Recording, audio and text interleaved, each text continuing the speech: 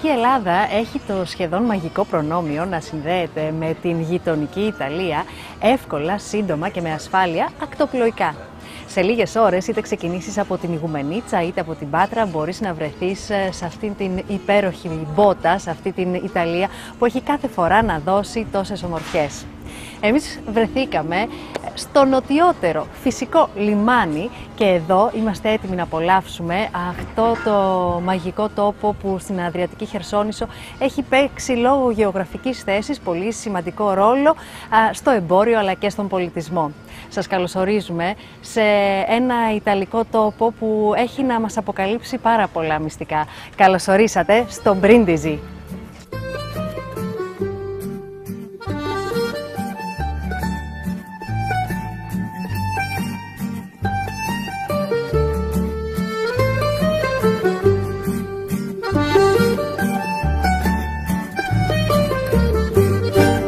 Ταξιδεύουμε στο Μπρίντιζι της Ιταλίας, αυτό το λιμάνι της Αδριατικής θάλασσας που απέχει μόλις 45 χιλιόμετρα από το Ιόνιο Πέλαγος και που πολλοί από εμάς έχουμε κάνει πέρασμά μας αλλά όχι προορισμό.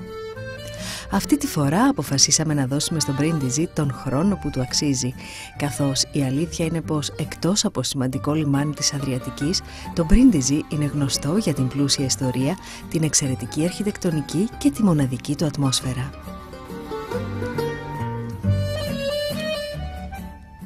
Το Μπρίντιζι ήταν αρχαία ελληνική απικία που προηγήθηκε της ρωμαϊκής επέκτασης. Το λατινικό όνομα Brindisium προέρχεται από το αρχαίο ελληνικό βρεντέσιο που σημαίνει κεφάλι ελαφιού και αναφέρεται στο σχήμα του φυσικού λιμανιού. Ιστορικά, η πόλη έπαιξε σημαντικό ρόλο στο εμπόριο και τον πολιτισμό λόγω της στρατηγικής της θέσης στην Ιταλική Χερσόνησο και του φυσικού της λιμανιού στην Αδριατική θάλασσα. Αποτελεί σημαντικό λιμάνι για το εμπόριο με την Ελλάδα και τη Μέση Ανατολή. Το Μπρίντιζι έχει ανθυρή βιομηχανία στην αγροτική, τη χημική και την ενεργειακή παραγωγή. Υπάρχουν πολλές παραδόσεις σχετικά με τους ιδρυτές της πόλης. Σε κάποιες, ιδρυτής φέρεται ο θρηλυκός ήρωας Διομήδης, φίλος του Οδυσσέα, ενώ σε άλλες ότι απεκίστηκε από τους Κρήτες. Στο ακροτήριο της Πούντα που βρίσκεται στο εξωτερικό λιμάνι έχει ταυτοποιηθεί ένα χωριό της εποχής του Ορύχαλκου του 16ου αιώνα π.Χ. όπου ένα σύνολο από καλύβες προστατευμένες από επίχωμα από πέτρες απέφερε κομμάτια μικυναϊκής κεραμικής. Επιρωμαίων τον Πρίντιζι, μια μεγάλη πόλη στην εποχή του με περίπου 100.000 κατοίκους, ήταν ένα ενεργό λιμάνι, το κύριο σημείο επιβίβασης για την Ελλάδα και την Ανατολή μέσω του Δυραχείου ή της Κέρκυρας. Συνδεόταν με τη Ρώμη μέσω της Απία Οδού. Η κατάληξη της Απία Οδού στην άκρη της θάλασσας πλαισιωνόταν στο παρελθόν από δύο κύονες. Μόνο ένας παραμένει εκεί. Ο δεύτερος έχει αφαιρεθεί και μεταφέρθηκε στη γειτονική πόλη Λέτσε. Η πόλη σήμερα είναι γεμάτη αξιοθέατα, γραφικά σοκάκια και μνημεία τα οποία σε περιμένουν να τα εξερευνήσεις.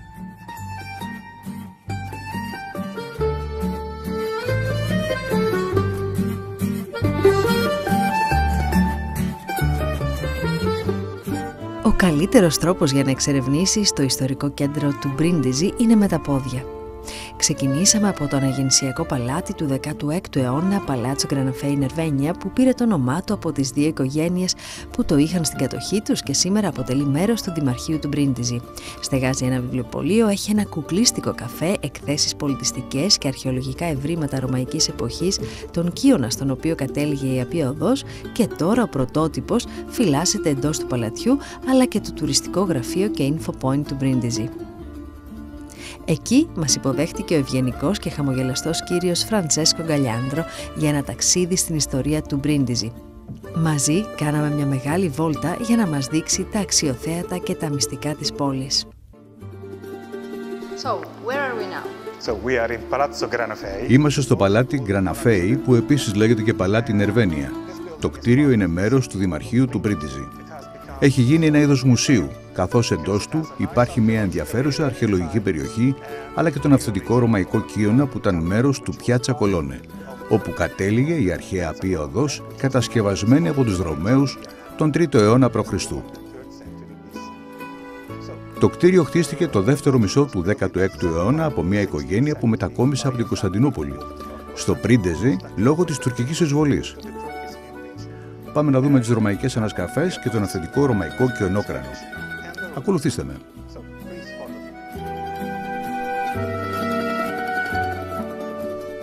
So here we are. This Να is είμαστε λοιπόν στην αρχαιολογική περιοχή του Παλάτσο Νερβένια. Κατά τη διάρκεια της ανακαίνησης του παλατιού στα τέλη του 90, οι αρχαιολόγοι ανακάλυψαν πολλά διαφορετικά στρώματα εδάφους από την εποχή του αρχαίου Μπριντίσιουμ αλλά και ρωμαϊκά και μεσαιωνικά στρώματα, όπως επίσης και τάφους εκείνης της εποχής στην πίσω αυλή, αλλά και το κύριο αξιοθέατο του παλατιού που είναι το ρωμαϊκό κιονόκρανο. Ας πάμε να το δούμε.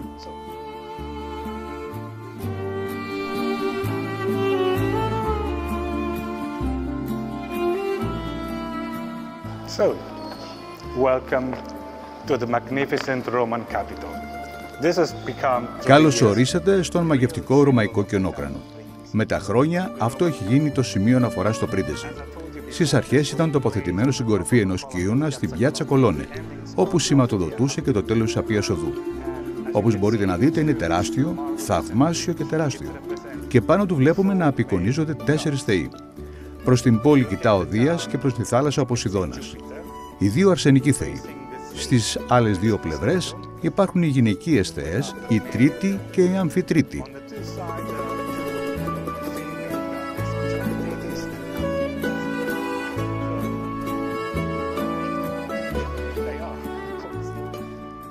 Το κοιονόκρανο είχε καταστραφεί ως ένα βαθμό από τη μόλυνση του αέρα που ερχόταν από την βιομηχανική περιοχή και έτσι μετά την αποκατάστασή του στα τέλη του 90 αποφασίστηκε να το προστατεύσουν μεταφέροντάς το στον υπέροχο χώρο που έφτιαξαν.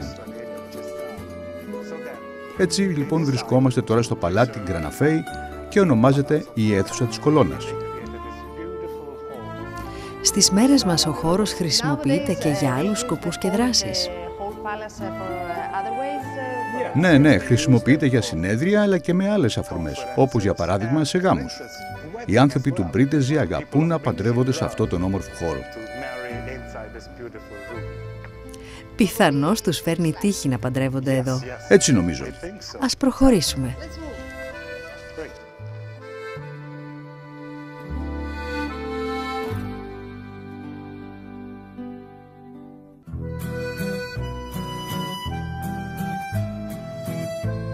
So, where are we now? So we are in the archaeological area of San Pietro degli Schiavoni. Βρισκόμαστε στην The area is αρχαιολογική so περιοχή called του Σαν because Πιέντρο in Ντέλη this και Αβώνη. place in the Middle Ονομάζεται East, έτσι γιατί κατά το Μεσαίωνα υπήρχε στο κέντρο της περιοχής αυτής μία εκκλησία με αυτό το όνομα.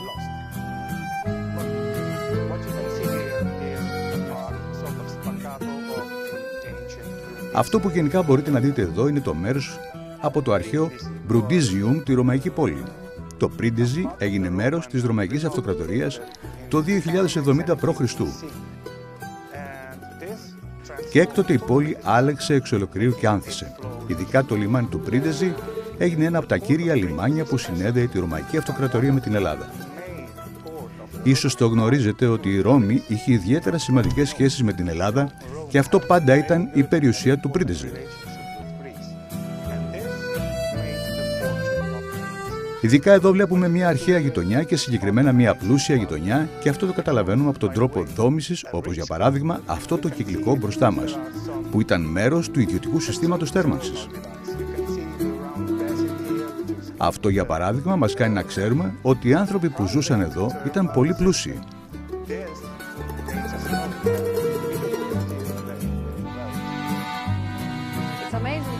Είναι εντυπωσιακό που μπορούμε να περιηγηθούμε στο Μπρίντιζι και στη μέση της πόλης να συναντήσουμε και να θαυμάσουμε αρχαία ευρήματα.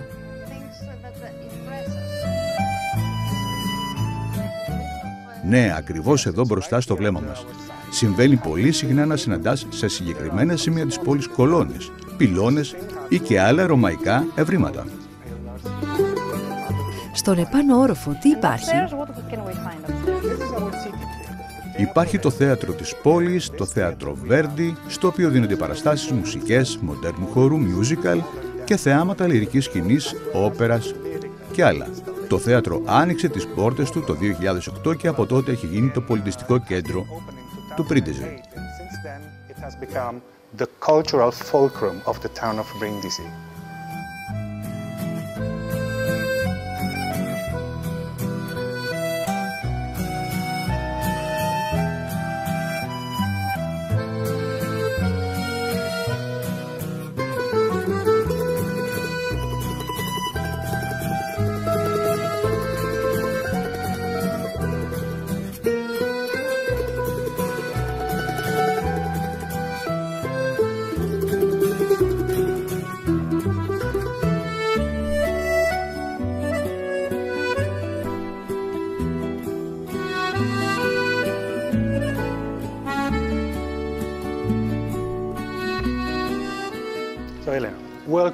to one of the fulcrum of Christianity in Brindisi, the Temple of San Giovanni. Καλώς ορίσατε σε έναν από τα σημαντικότερα σημεία χριστιανισμού στο Πρίντιζι, το ναό Σαν Τζιοβάνι. Για αιώνες ήταν ο πιο σημαντικός ναός της πόλης.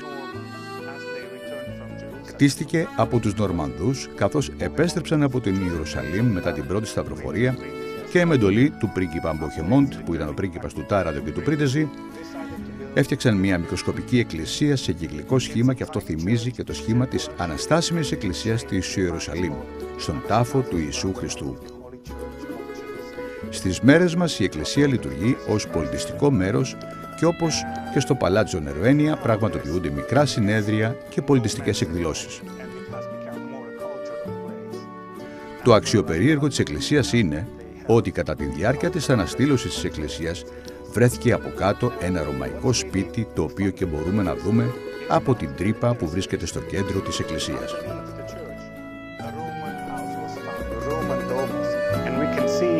right here from the hole in the middle of the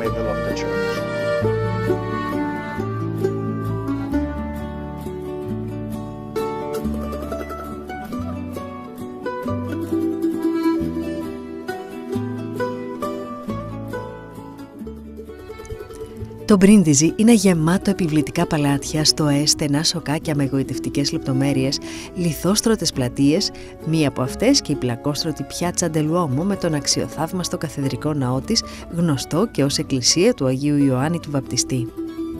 Εμείς στην περιπατητική μας ξενάγηση με τον Φραντζέσκο σταθήκαμε τυχεροί και βρεθήκαμε στο ναό κατά τη διάρκεια του γάμου ενός ζευγαριού και έτσι καταφέραμε να δούμε και τα ντόπια θρησκευτικά έθιμα και τις παραδόσεις.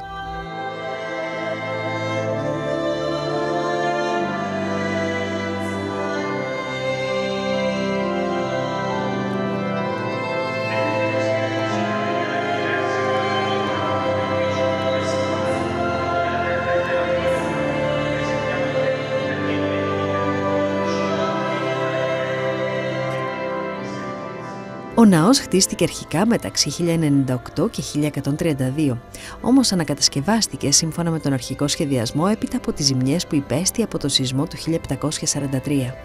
Εδώ το 1191 ο γιος του Τανκέρδου Ορογύρος στέφθηκε βασιλιάς της Σικελίας. Στο εσωτερικό του ναού μπορεί κανείς να δει ένα πολύχρωμο μοσαϊκό του 1178, ενώ στα παρεκκλήσια πολύτιμες εικόνες από διάφορες περιόδους.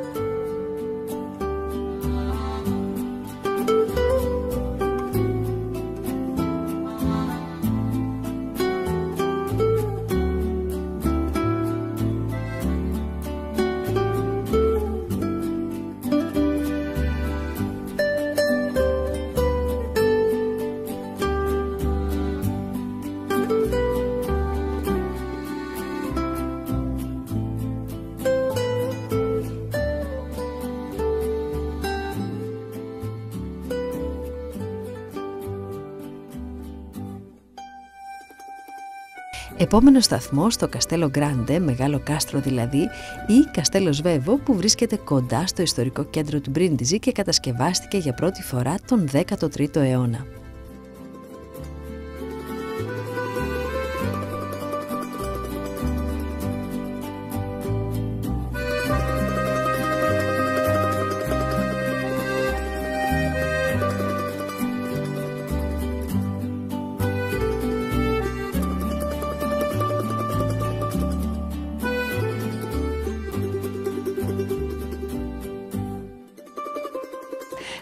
Το καστέλο Βέβο στο Μπρίντιζι είναι ορατό σχεδόν από κάθε μεριά της πόλης.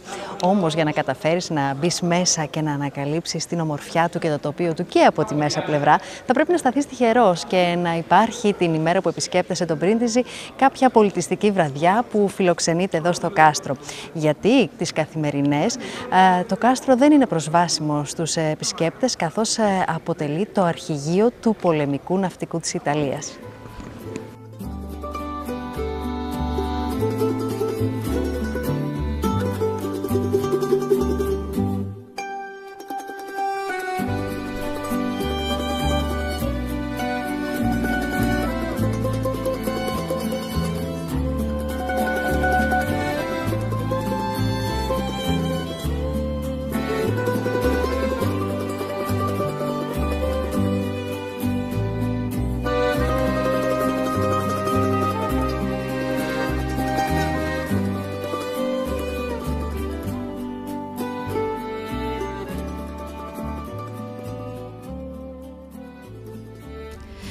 Ένα τμήμα του κάστρου έχει θέα στο εσωτερικό τμήμα του λιμανιού της πόλης υπερασπίζοντας αυτή τη σημαντική περιοχή.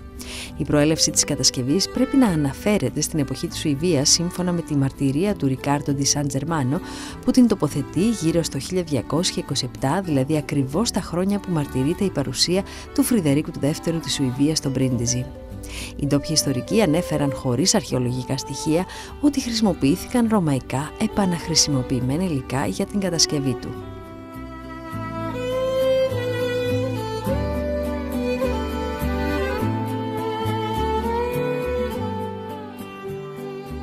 Το 1496 το κάστρο μαζί με την πόλη παραδόθηκε στο προτεκτοράτο της Δημοκρατίας της Βενετίας. Το κάστρο αυτή την περίοδο είναι άψογα λειτουργικό, μάλιστα σε μια αναφορά περιγράφεται ως όμορφο και πολύ δυνατό, κυριαρχώντας την πόλη και στα άλλα κάστρα. Καθ' όλη τη διάρκεια του 19ου αιώνα το κάστρο χρησιμοποιήθηκε ως κολυμβητικό λουτρό και στη συνέχεια ως φυλακή μέχρι το 1909 όταν έγινε αντιληπτή η στρατηγική σημασία του Μπρίντιζη στην Αδριατική καθιστώντας το ρόλο του ως στρατιωτικό προπύργιο επίσημο το 1910. Κατά τη διάρκεια του Δευτέρου Παγκοσμίου Πολέμου η στρατιωτική βάση της Ιταλίας βρισκόταν εδώ.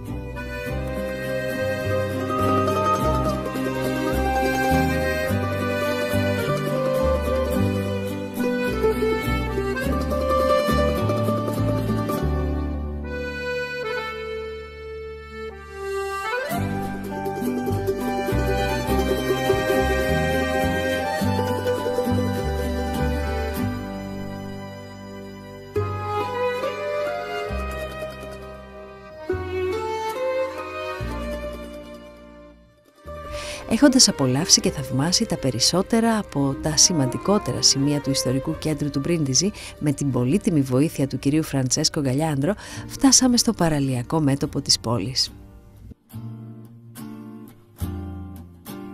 So, Πώς είναι οι κάτοικοι του Μπρίντιζη; Το Μπρίντιζη έχει σχεδόν 80.000 κατοίκους. Και κατά τη διάρκεια του καλοκαιριού είναι η περίοδος που μπορούμε να δούμε περισσότερους τουρίστες; Φυσικά το καλοκαίρι υπάρχουν πολλοί τουρίστες, αν και τα τελευταία χρόνια έχω δει μια αύξηση επισκεπτών και τις υπόλοιπες εποχές του χρόνου. Ας πούμε ότι εξαιρώντας τον Δεκέμβριο και τον Ιανουάριο έχουμε τουρισμό όλο τον χρόνο, καθώς η περιοχή μας προσφέρει όχι όμορφες μόνο θάλασσες και ακτές, αλλά και πολύ πολιτισμό και υπέροχη φύση με πολλά ορειβατικά πάρκα και ποδηλατικά πάρκα. Αυτό που μας βοήθησε ιδιαίτερα ήταν η νέα σύνδεση της περιοχής μας με πολλές χώρες της Ευρώπης, όπως η Ιρλανδία, η Σουηδία, η Σλοβενία, η Γαλλία, η Ολλανδία, το Βέλγιο, η Ισπανία. Και έτσι πολλοί μπορούν εύκολα να έρθουν και να επισκεφθούν τον Πρίντιζη.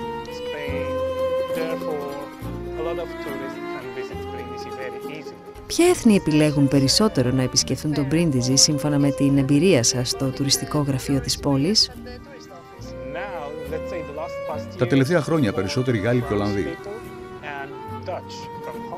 Όχι Έλληνες, είμαστε τόσο κοντά οι δύο χώρες, σε λίγες ώρες απόσταση.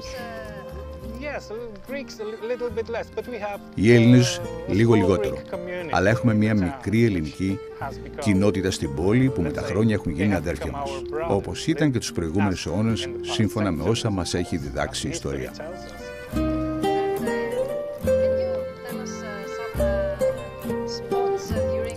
Μπορείτε να μας πείτε για κάποια χρονικά σημεία κατά τη διάρκεια του έτους που επιλέγουν οι τουρίστες να επισκέπτονται τον Πρίντιζι, όπως για παράδειγμα σήμερα βλέπουμε τα σκάφη με αφορμή τη ρεγκάτα και θα θέλαμε να μας μιλήσετε και για αυτή, αλλά και για άλλες δράσεις που λαμβάνουν χώρα μέσα στη χρονιά.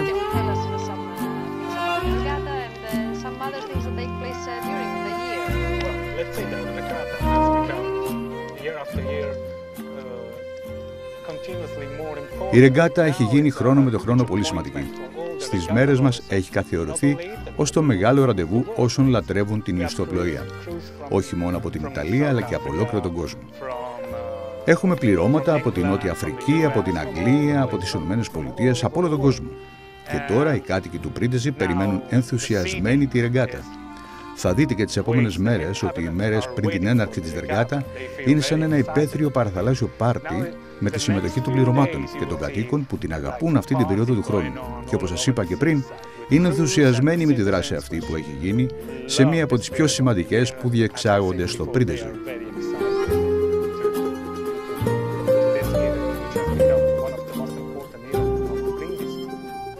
Μάλιστα, αυτό είναι το καλοκαίρι. Το χειμώνα, το φθινόπωρο, την άνοιξη υπάρχουν δράσεις. Λοιπόν, το φθινόπωρο έχουμε το Patron σε Festival Sant'Edoro de Amazea, όπου και πάλι ένα μεγάλο πάρτι πραγματοποιείται στο Πρίντεζι, αλλά και περισσότερο θρησκευτικού χαρακτήρα όμως.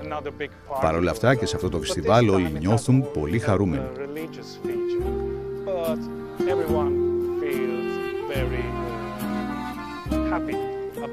Το χειμώνα το Πρίντεζι είναι περισσότερο επισκέψιμο λόγω της εξοχής και στα περίχωρά του που είναι πανέμορφα και ο καιρός βοηθιά γι' αυτό και δεν έχει ιδιαίτερο κρύο όπως σε άλλες περιοχές.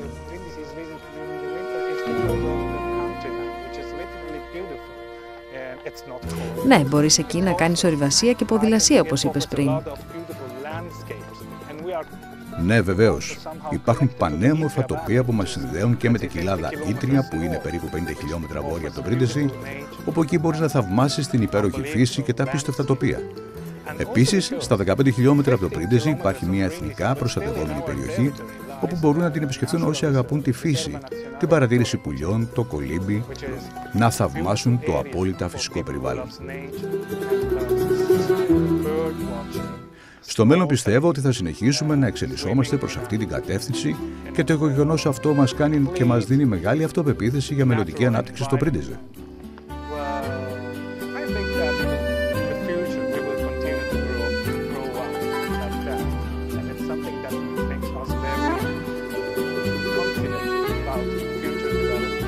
Εσείς που προσωπικά γνωρίζετε τον Πρίντεζι πολύ καλά, μας το αποδείξατε ήδη και θα συνεχίσετε να μας το αποδεικνύετε τις επόμενες ημέρες εδώ.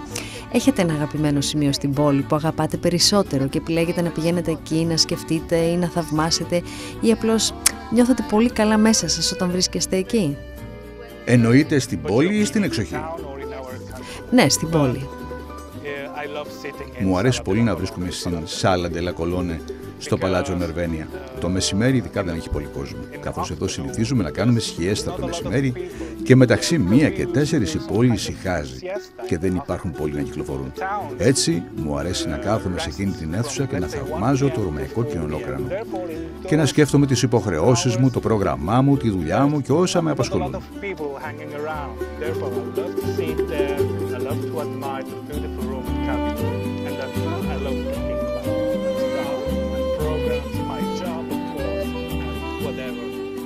Σας ευχόμαστε θετικές σκέψεις για όλα και σας ευχαριστούμε πολύ.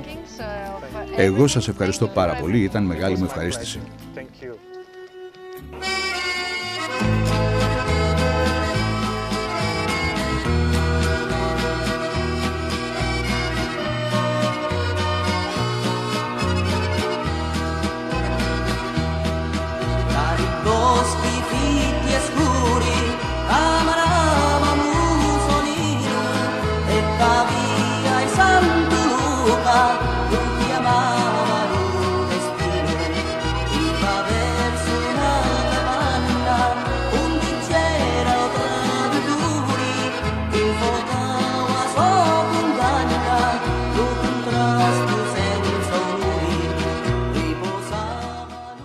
Απέναντι από την παραλία του Μπρίντιζι βρίσκεται το μνημείο του ναύτη ύψους 54 μέτρων στο οποίο μπορείς να φτάσεις εύκολα και με μικρό χρηματικό αντίτιμο με το καραβάκι της γραμμής διασχίζοντας το κανάλι Πιγκονάτι. Οι ντόπιοι χρησιμοποιούν το καραβάκι για την καθημερινότητά τους θέλοντας να πάνε από το ένα σημείο της πόλης στο άλλο καθώς απέναντι εκτός από το υπερμεγέθες μνημείο απλώνεται και ένα μεγάλο κομμάτι της σύγχρονης πόλης του Μπρίντιζι. Αν επιλέξεις να φτάσεις απέναντι όχι με το καράβι αλλά με τα πόδια, μπορείς να το κάνεις κυκλώνοντας σχεδόν την παραλία και θα χρειαστεί περίπου 40 λεπτά περπάτημα.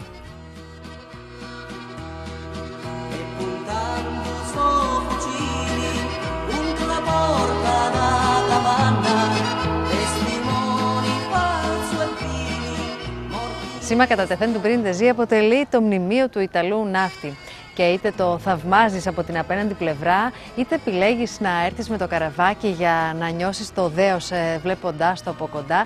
Είναι πραγματικά ένα μνημείο που κόβει την ανάσα, γιατί είναι χτισμένο το 1933 και έχει ύψος 54 μέτρα. Όταν στέκεσαι δίπλα του, οριακά νιώθεις ένα μικρό φόβο.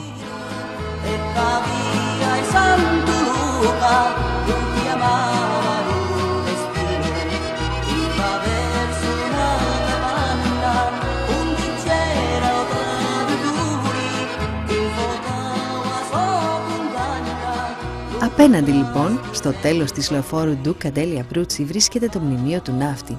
Με τη μορφή ενός τιμονιού ανεγέρθηκε στη μνήμη των θυμάτων του πολέμου. Το μνημείο άνοιξε επίσημα στις 4 Νοεμβρίου του 1933 παρουσία του βασιλιά Βιτόριο Εμμανουέλε του Τρίτου. Μέσα στο μνημείο υπάρχουν πολλά δωμάτια όπου συλλέγεται η συλλογή ιστορικών αντικειμένων. Στην κορυφή του μνημείου το 1954 τοποθετήθηκε ένα μαρμάρινο άγαλμα της Μαντόνα.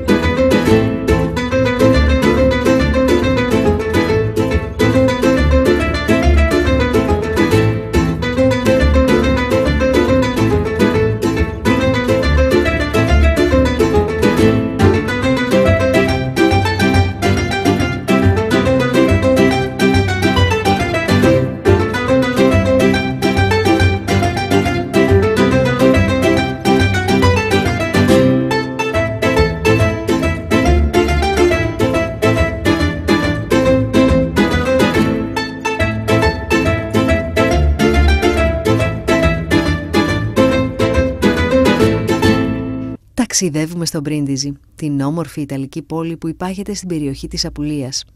Σύμφωνα με το μύθο, αυτή η πόλη ιδρύθηκε από το Διομήδη έναν Έλληνα ήρωα.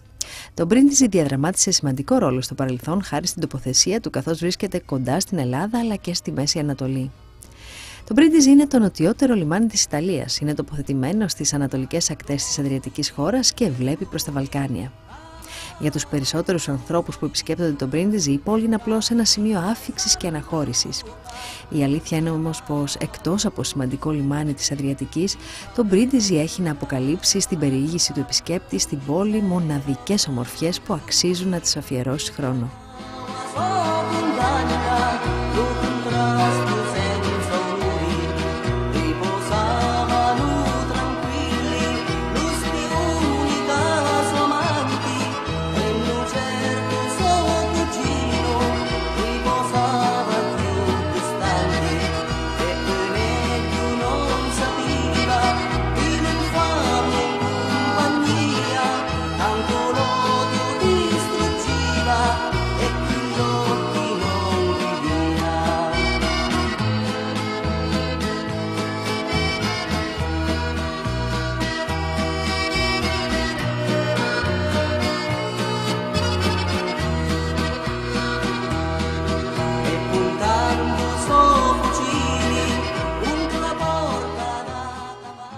Παραλιακό μέτωπο στο Μπρίντιζι άλλαξε όψη το 2003.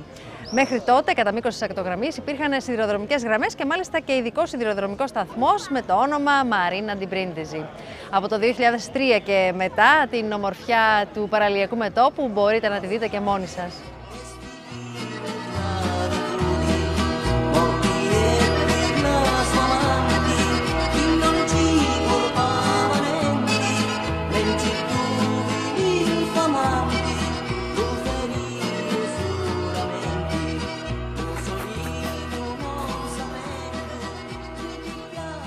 Το σύγχρονο παραλιακό μέτωπο του Μπρίντιζι μάλιστα είναι γνωστό για την εξαιρετική του ομορφιά και τις εκπληκτικές ακτές που προσφέρει. Λιθόστρωτα, φίνικες, παγκάκια, ιστιοφόρα που στολίζουν τη μαρίνα, καθαρά κρυστάλλινα νερά. Συνολικά, το σύγχρονο παραλιακό μέτωπο του Μπρίντιζι συνδυάζει την παράδοση με την ομορφιά της φύσης και τον τουρισμό, προσφέροντας στους επισκέπτες μια μοναδική εμπειρία ανάμεσα στην ιστορία και το σύγχρονο τρόπο ζωής. Στον Πρίντιζι συναντάμε καλά διατηρημένα ιστορικά κτίρια και εκκλησίες που μαρτυρούν την πλούσια ιστορία της περιοχής.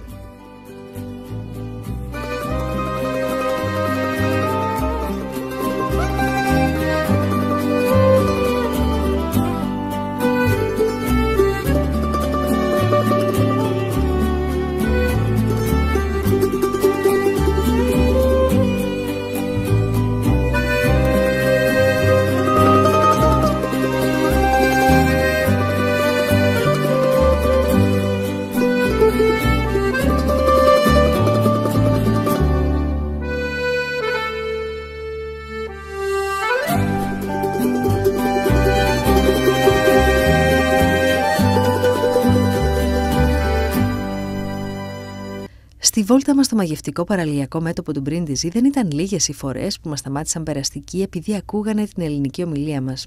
Το εντυπωσιακό βέβαια δεν ήταν ότι μας σταματούσαν ομοεθνείς μας και ομόγλωσσοι, αλλά Ιταλοί, μπριντίζοι που έχουν μάθει όχι μόνο να καταλαβαίνουν, αλλά και να χρησιμοποιούν κάποιες ελληνικές λέξεις από τις συχνές επισκέψεις τους στην Ελλάδα, καθώς η εγκύτητα των λιμανιών της Δυτικής Ελλάδας κάνει την επίσκεψη στη χώρα μας μια εύκολη επιλογή διακοπών.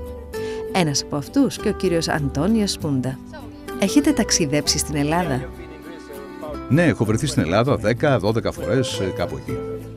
Και τι σας αρέσει περισσότερο στην Ελλάδα; Μου αρέσει πολύ το ελληνικό φαγητό αλλά και οι Έλληνες. Οι Έλληνες είναι πολύ φιλικοί κατά τη γνώμη μου. Επίσης, οι τόποι, οι πόλεις μου αρέσουν πάρα πολύ, καθώς και ο πολιτισμός της χώρας σας. Εσείς μένετε στον Πρίντιζι; Ναι, εγώ εδώ μένω. Εργάζομαι στο Μπριντίζι. Τι γνώμη έχετε για τη ρεγκάτα Μπρίντιζι Κέρκυρα που συνδέει τις δύο χώρες; Η Διεθνής Ρεγκάτα είναι πολύ ωραία δράση γιατί έρχονται άνθρωποι από πολλές χώρες και είναι πολύ ενδιαφέρον να επισκέπτεσαι την περιοχή ως τουρίστας αυτή την περίοδο. Και για τους ντόπιου όμως είναι πάρα πολύ καλά γιατί τα μπαρ, τα εστιατόρια δουλεύουν πάρα πολύ καλύτερα. Θυμάστε κάποιες ελληνικές λέξεις; Ελληνικές λέξεις, ναι. Ε, αγαπώ. Ε, ε, αγαπώ ε, ε, Ελλάδα. Ε, ε, ω- ωραία κοπέλα. Ωραία κοπέλα. Ε, μουσάκα. Τσατσίκι. Ε, σουφλάκι. Ε, Στο ταξίδι μας είχαμε τη χαρά να συναντήσουμε και να συνομιλήσουμε και με πολλούς Έλληνες τρίτης και τέταρτης γενιάς που γεννήθηκαν και μεγάλωσαν στο γειτονικό Μπρίντιζι, αλλά έμαθαν από παππούδες, γιαγιάδες και γονείς να μιλούν ελληνικά και να κρατούν στην καρδιά τους την Ελλάδα παρότι πολιτογραφημένοι Ιταλοί. Ο κύριος Ραφαέλε Μάρμο μας έκανε την τιμή να μας μιλήσει on camera για την δική του προσωπική ιστορία, αλλά και για τους Έλληνες του Μπρίντιζι και την κοινότητά τους. Κύριε Μάρμο, να πάρουμε λίγο το κουβάρι της ζωής σας από την αρχή, γιατί συνειδητοποιήσαμε ότι δίπλα μας πέρασε ένας άνθρωπος που μιλάει ελληνικά και εξαιρετικά και θελήσαμε να μάθουμε πώς γίνεται ένας άνθρωπος που ζει εδώ στο Μπρίντεζι να είναι μισός Έλληνας, μισός Ιταλός, φαντάζομαι θα μας το πείτε, και να μιλά τόσο εξαιρετικά ελληνικά. Ε, ναι, καλά. Εγώ μ, τα ελληνικά τα έμαθα από μικρό. Πώς τα, πώς τα, πώς τα μάθατε εσείς, πώς τα, μάθα, πώς τα μαθαίνει ένα Έλληνας. Γεννήθηκα Βόρεια Ιταλία, πάνω, Μπελούνο. Μετά, γιατί τους δικούς μου δούλευαν εκεί. Είναι Οι γιατρούς. γονείς Έλληνες, Ιταλοί, Ε, ο Ελληνίδες; πατέρας μου είναι Ιταλός, η μάνα μου Ελληνίδα. Ε, είναι Πού γνωρίστηκαν; Στο πανεπιστήμιο. Είναι και οι δύο γιατρούς, ε, γνωρίστηκαν στο πανεπιστήμιο και μετά μ, παντρευτήκαν εδώ στην Αγαπηθήκανε, Ιταλία. παντρευτήκανε και αποφάσισαν να μείνουν εδώ. Και εγώ γεννήθηκα πάνω, γιατί πριν δουλεύανε πάνω, ε, Βόρεια Ιταλία, Μπελούνο. Μετά κατεβήκαν εδώ και είμαστε από 25 χρόνια στον Πρίντιζη. Στο σπίτι τι γλώσσα μιλούσατε όταν... Ε, μικρή, ε, κοίτα, εγώ είχα την α, γιαγιά μου που μου μίλαγε πάντα ελληνικά από μικρό, γι' αυτό τη γλώσσα μου μπήκε μέσα στο μυαλό. Ε, αλλά τώρα γενικά μιλάμε Ιταλικά στο σπίτι, γιατί η μάνα μου τώρα είναι 40 χρόνια που είναι στην Ιταλία, γι' αυτό μιλάει Ιταλικά. Ο πατέρας μου είναι Ιταλός, αλλά όταν είμαστε κάτω μιλάμε όλοι ελληνικά. Εσείς ε, τα ελληνικά δηλαδή τα μάθατε περισσότερο από τη γιαγιά πώς, όταν ταξιδεύατε καλοκαίρια στην Ελλάδα; Όλο μαζί, όλο μαζί. Γιατί είχα τη γιαγιά μου εδώ που ήταν μαζί μας εδώ στην Ιταλία. Μετά πήγαινα κάτω το καλοκαίρι στην Ελλάδα και είχα φίλοι, ξαδέρφοι και τότε μιλάγα πολύ με αυτούς και τη γλώσσα μου έμεινε. Ε, κάτω είναι ένα μικρό νησί, Μύτικα, ε, κοντά στα Κο. Ε, κοντά Λευκάδα, Γιόνιο, από αυτή τη γριά. Επιστρέφετε συχνά; Ναι, ναι, ναι, πάμε. Όταν τώρα με τη δουλειά και με τη ζωή που έχει γίνει πολύ γρήγορη, πάμε μόνο τα καλοκαίρι, και- α, όταν μπορούμε το Πάσχα.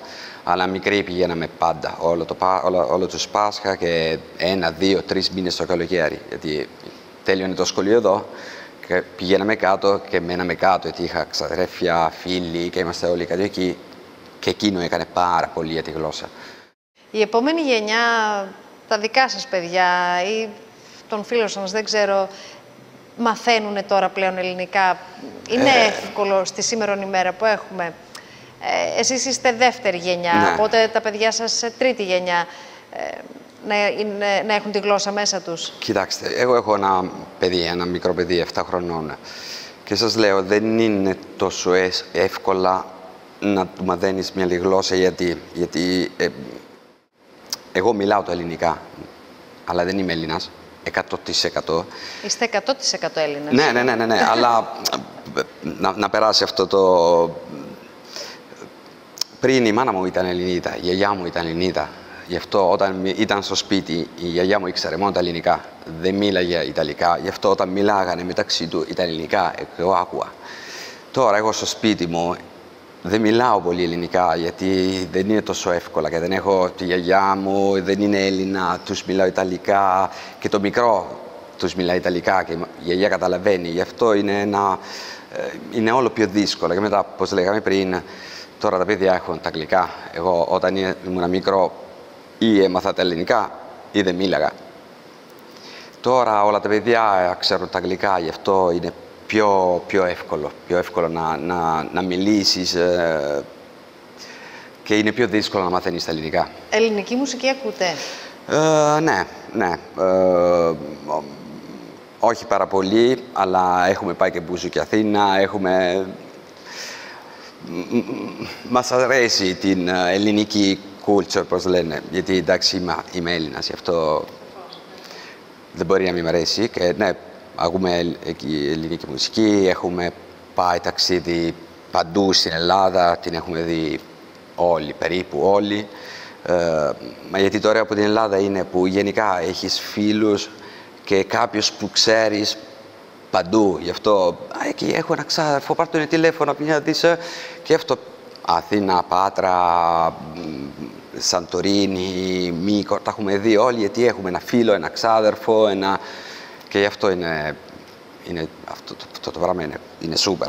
Η, η σύζυγός σας είναι Ιταλίδα; Ε, ναι, Και μ, η σχέση της με τη χώρα την αγαπά, ε, νιώθει ότι είναι τόσο κοντά αυτές οι δύο χώρες όσο, είναι, όσο νιώθουμε εμείς; Γιατί λέμε una faccia, una razza. ναι, είναι αλήθεια. Τώρα ε, είναι 20 χρόνια που έρχεται με μένα στην, στην Ελλάδα και δεν μιλάει τα, Ιταλικά, τα ελληνικά, αλλά τα καταλαβαίνει. Ε, γι' αυτό εγώ λέω που πάντα που εμ- είμαστε περίπου ίδιοι. Εκείνο που είναι λίγο που μας κάνει ε, είναι λίγο η ιστορία γενικά, αλλά στο τέλος είμαστε ίδιοι. Γιατί είμαστε κοντά, ε, έχουμε το ίδιο, σκεφτόμαστε τα πράγματα περίπου με τον, με, με τον ίδιο τρόπο. Ε, γι' αυτό λέω ναι, μια ράτσα, μια φάτσα, σίγουρα. Κάτι τελευταίο, ελληνισμός, Έλληνες στον Πρίντιζι, ε, το διεκδικείτε, το προσπαθείτε, να είστε συντονισμένοι, να πάτε μαζί, δεν ξέρω, ε, σε εκκλησίες, σε συλλόγους, να κάνετε πράγματα ώστε να υπάρχει, επαφή; μια community εδώ στην, στο Μπρίντιζι από Έλληνας, αλλά το ωραίο είναι που είναι όλοι μαζί. Δεν υπάρχουν αυτά τα πράγματα σαν εκκλησίες και αυτά, αλλά είμαστε όλοι ανακατεμένοι. Και αυτό είναι το πιο ωραίο πράγμα, γιατί ε, πάει να πει που ε, ε, τους Έλληνες που είναι εδώ είναι καλά. Και εμείς Έλληνες που είμαι μισή Ιταλούς και μισός Έλληνας, εδώ είμαστε όλοι μαζί. Δεν, είναι, δεν υπάρχει, πώς λέγεται σε ελληνικά, ε, κάτι που μας ε, χωρίζει. Μπράβο, μας χωρίζει. Είμαστε στο τέλος, είμαστε ήδη. Σκεφτόμαστε στο ίδιο πράγμα, σκεφτόμαστε τα, βλέπουμε τα πράγματα με το ίδιο τρόπο. Ε, το μόνο πράγμα που λίγο μας δεν είναι religion, μα είναι ένα πράγμα πολύ, γιατί στο τέλος είναι το ίδιο πράγμα, αλλά αλλάζουν πολύ λίγα πράγματα. Αλλά στο, στο τέλος είμαστε ήδη. Ναι.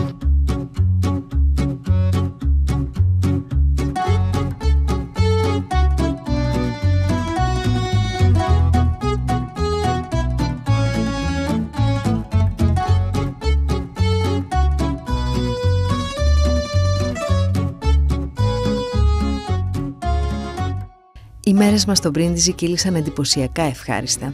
Τολμήστε αυτό το ταξίδι. Είναι τόσο κοντά στην Ελλάδα, πόσο μάλλον στη δυτική πλευρά της.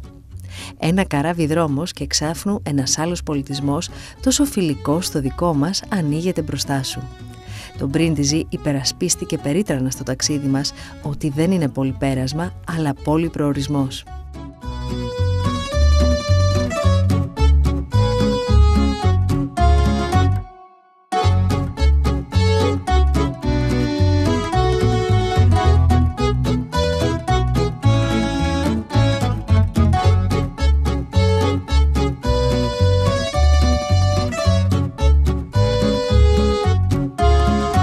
Αποχαιρετάμε τον Πρίντιζι, αυτόν εδώ το μαγικό θα λέγαμε τόπο που είναι γεμάτος ομορφιές και γέμισε την ψυχή μας, το μυαλό μας, τον αμφιβληστροειδή μας με τόσες ωραίες εικόνες. Πολιτισμός, ιστορία, αρχαιολογικά μνημεία, άνθρωποι φιλόξενοι και τι δεν είδαμε στο Μπρίντιζι.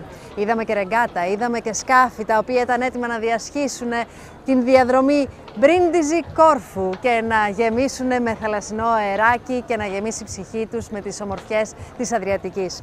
Και το Μπρίντιζι μας απέδειξε πως η ζωή είναι ταξίδι.